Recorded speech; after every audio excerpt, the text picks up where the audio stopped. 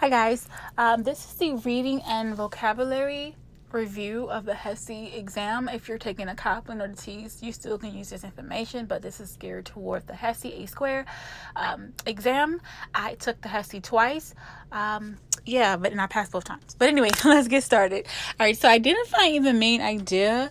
Um, you want to keep in mind these particular um, points, guys. Ask yourself what is the author's point. What is this paragraph about? And on the HESI, the paragraphs are very short. They're terse. They are blunt and to the point, okay? so I know sometimes some examinations or like there's like a whole entire essay, but with the HESI, it's like two and three paragraphs. That's it. So is the main idea mentioned in one or more paragraphs? Because that's what the main idea is supposed to do. It's supposed to be mentioned in more than one paragraph. That's how you can identify the main idea. And also, the main idea can be found in the beginning, in the middle, and the end of the paragraph, the introduction or the conclusion. You have to kind of like think like a writer. You know how when we are taught in a grammar school or in English 101, how they teach you to construct an essay. So you have to keep those main topics in the um, conclusion and you keep it in the introduction. It's the same I would just say the same type of deal. So look for details, visualize when you're reading. Uh, read one paragraph and then stop and then summarize that paragraph. But like I said, the paragraphs are so short with the um, HESI exam. So identifying supporting ideas. Supporting ideas, in my opinion, would be like a supporting actor or actress in a film. So what are those or who are those actors that support the main idea? So basically, I just kind of figure it out that way. I just kind of think about it that way. I'll just say that. So look for um, interests, visuals, look for examples and statistics. An author might say, I have 23,000 students that failed this exam or passed this exam. That's probably not a good example. But anyway, uh, look for details to support the main idea. Look for things that are, are once you identify the main idea, look for those things that actually support the main idea. Those supporting actors in the film, okay? Look for those um look I move my hand there. Look for transitional words like although and firstly, secondly, um, lastly, words like that, because that will help you to understand what uh if it's a supporting idea. I think you might be asked what's maybe you maybe not. I don't remember seeing any questions, but this information is coming directly from the HESI A Square examination uh, book. I'll leave a picture on the screen.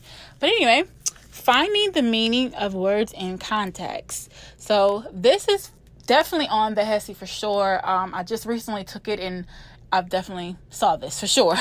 anyway, so one thing you want to keep in mind about words, um, finding words and meaning context, we want to like not think of what we know the word to be, like not on our own definition, but what is the author trying to say? Because you know with the english language the one word can have like multiple meanings. So you have to kind of like understand and use the context clues to figure out what the author how the author is using the word. And one way we do that is by maybe looking for the words that are before and or after the underlying word that you'll you'll be giving. You'll be given a problem like this one that's in black. Like what is the what is the meaning of the word phenomenon in the second paragraph?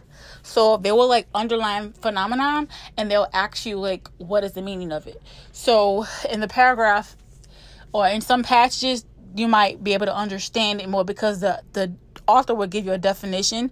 They might use synonyms they might use antonyms, give you the opposite, and they might even restate the meaning of the word or restate the word.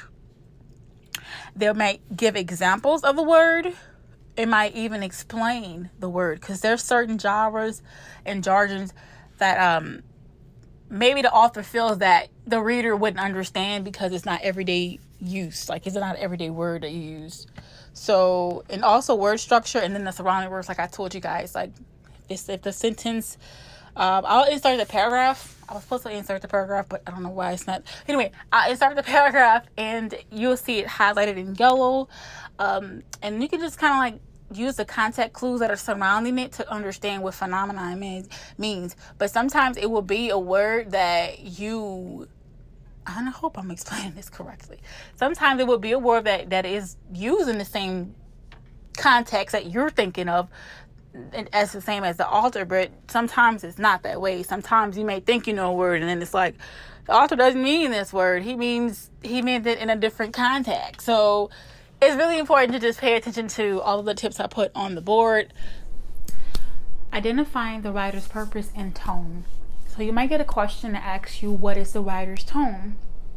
So these are some things you want to keep in mind. You want to keep in mind who is the intended audience uh, why is this being written? You want to look at the writer's choice of words. They call it connotation. I hope I'm pronouncing that correctly.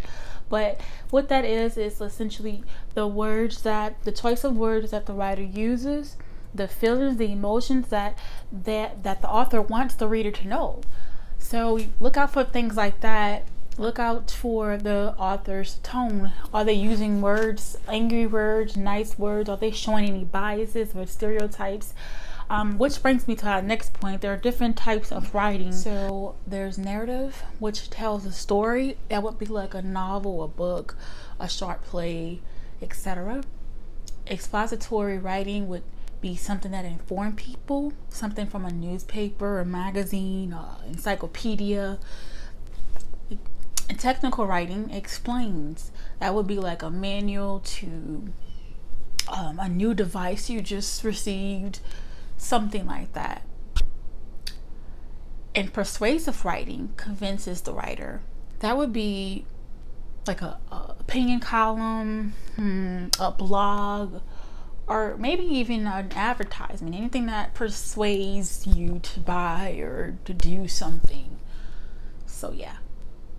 So if the writer, for some reason, doesn't stick to their particular any form of writing, then it's probably an incorrect passage or it's probably something a little odd about that. And you just want to pay attention to um, a different tone that the author has because that'll help you to identify what's wrong. And if you know what's wrong, then you know what's actually supposed to be correct. Facts versus opinions. Facts are statements that are proven. Opinions cannot be proved. So opinions are subjective. It can be anything. And facts are proven whether it's wrong or right. Alright guys, so now I'm going to focus on the vocab section. So this section was very easy, very straightforward, no gimmicks. One thing that helped me was I basically weeded out my weaknesses, what words I weren't familiar with versus the words that I was familiar with. And all the words that I was familiar with, I didn't really focus too much on. I just definitely, um, you know, read over the definitions, but the ones that I had trouble with, I made flashcards for, and I would like study that way. And uh, yeah, you guys, these words are actually on the test, by the way. So on the test, the vocab part is fairly simple. It's like 30 questions, I believe, and like literally any everything that's in the book, the HESI books that you have been practicing with, or you may have been doing Quizlets or anything, uh, maybe even YouTube videos. Some people have given you some words. These words are actually on the um, test, the actual test, so it's no no need to worry about it. It's very very easy. Another method that I use to remember words um, would be making them relatable to another word that I am very familiar with. For example, languid. Languid starts with an L, and I remember the word lethargic. So they kind of mean very similar, very similar meaning. Languid means means tired and slow, and lethargic means sluggish, tired. So that helps me to remember. It helped me remember languid. Um, we talked about the prefixes and the suffixes earlier in this video. So this is a perfect example, antebellum. And plus there's a, a band or a group called Antebellum, a music group called Antebellum. So it helps me to remember what it means exactly. So the ante, if you know about prefixes, you know that ante means before. So there you go. The definition, the word is in the definition. That's some other ways that you can uh, remember words. And then virulent, I, I thought about, um, you know, a virus. How a virus is harmful and severe, COVID 19 for crying out loud. So virulent. And then convey, uh, I don't know why I had trouble memorizing what the heck this word meant, but what helped me was I actually Googled what it meant, and it actually is a inward curve an outline I'll insert a picture there. And since I am a visual learner, and you might be as well, uh, that's why I'm sharing this information. It helped me to actually remember what the word was, just seeing a visual. So creating a visual for yourself can help you also um, remember words. And then we, and then we have pragmatic. It means it's concerned with practical matters. And one way that helped me remember was the PRA in there. PRA starts with the same word as practical so that helped me to remember. Sometimes you have to create those um, visions or related to another word to actually remember what the words mean. So that's pretty much it, guys. I wish you guys well on your test. This test was very easy. Um, it's straightforward. Nothing to worry about. Okay, so stay tuned for the A and P and biology and, and math sections of the HESI. Um, and yeah, I'll see you guys soon. Bye.